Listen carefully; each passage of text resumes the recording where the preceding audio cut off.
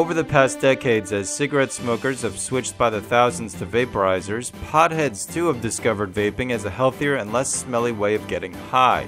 Vaporizers range from cheap bodega models with glass, metal, or plastic cartridges full of hash oil to futuristic pods with smartphone apps that retail for hundreds of dollars.